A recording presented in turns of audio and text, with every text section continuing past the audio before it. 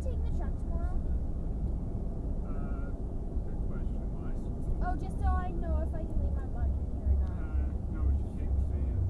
Okay.